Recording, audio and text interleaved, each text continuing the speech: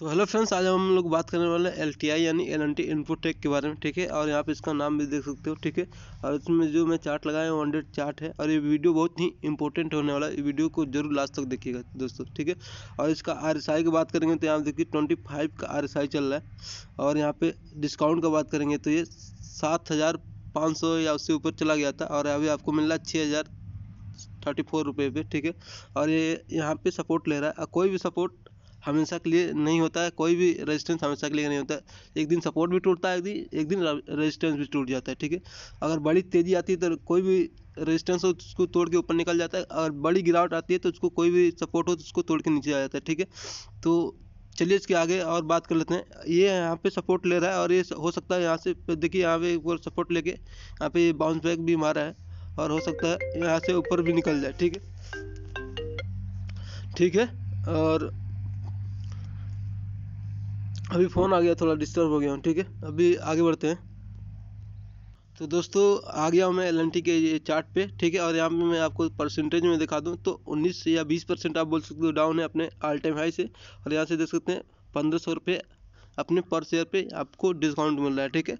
तो ऐसा मौका बार बार नहीं मिलता। और ये पहले ही बता देता हूँ देखिए, आप कोई भी शेयर जब बीस परसेंट टूट जाते तो आप समझ सकते हैं कितना बुरा लगता है। ठीक है?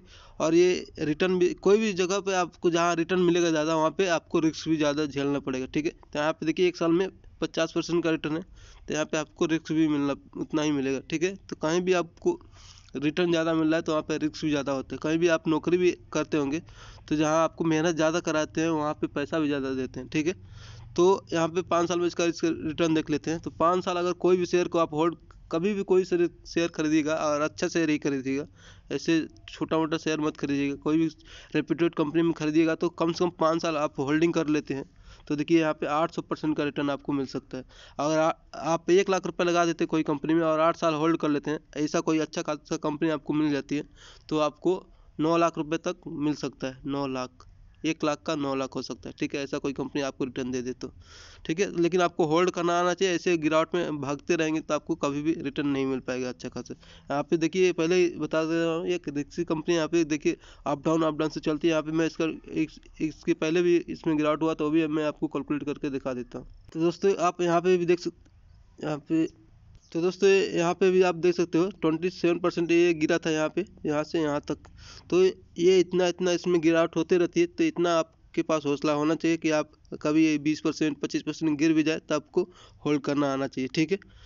और इसका रिटर्न मैं आपको इतना टाइम में दिखा दिया, इसके और पूरा रिटर्न दिखा देता हूँ मैक्सिमम रिटर्न तो दोस्तों, इसका लिस्टिंग हुआ था, देख सकते हैं, दो हज़ार सोलह में लिस्टिंग हुआ था, सात सौ रुपये इसका उस टाइम में भाव था, जिस टाइम में लिस्टिंग हुआ था।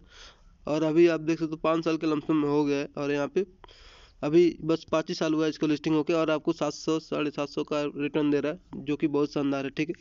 तो मैं वीडियो कहीं पे ख़त्म करता हूँ और मुझे उम्मीद है आपको वीडियो पसंद आई होगी, ठीक है? अगर वीडियो पसंद आई तो वीडियो को लाइक करिए शेयर करिए।